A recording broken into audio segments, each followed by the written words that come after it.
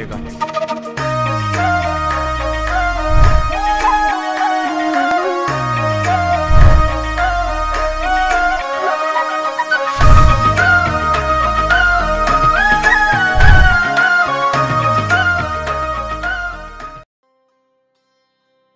Oi pessoal, tudo bem? Existia um lugar que tinha dois reis, um chamado Keshidwaja e o outro chamado Kandikia. Eles governavam reinos vizinhos.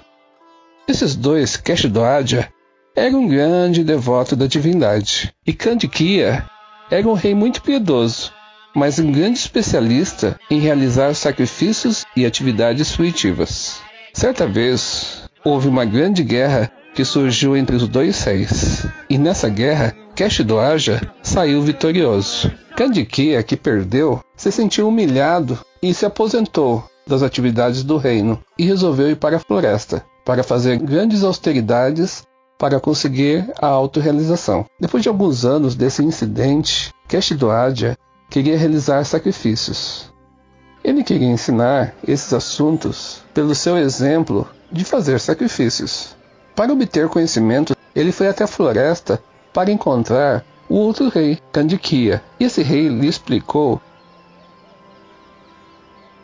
O rei ficou muito satisfeito com a resposta e perguntou a Candiquia: Por favor, diga-me como posso me tornar uma pessoa tão grande quanto você. Candiquia, por sua vez, fez uma pergunta: Por favor, diga-me como posso controlar minha mente e meus sentidos, que estão sendo um grande desafio para mim. O rei respondeu: Para controlar a mente e os sentidos, deve-se meditar exclusivamente na forma transcendental da divindade suprema, que por si só ele é Subashraya, que significa que ele é mais auspicioso objeto de meditação.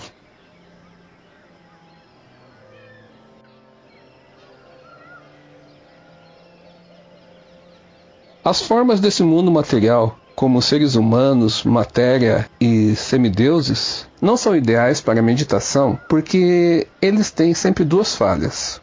A primeira é que todas as formas são adquiridas pelos indivíduos devido ao seu karma passado. Portanto, não são formas naturais, não é a essência da pessoa. E a segunda é que essas formas que nós temos são sujeitas à destruição com o passar do tempo. No entanto, a forma do Senhor Supremo ela não é um produto de karma e, portanto, ela é eterna. Então, meditando em sua forma, pode se subjugar a mente e os sentidos.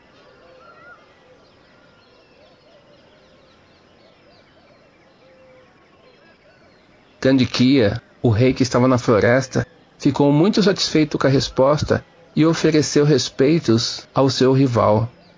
Embora Kandikia seja um especialista em realizar sacrifícios, estivesse vivendo uma vida aposentada na floresta, livre de responsabilidades, ele estava tendo dificuldades para conquistar a sua mente e seus sentidos. Isto é porque ele não foi treinado para meditar na divina forma do Senhor.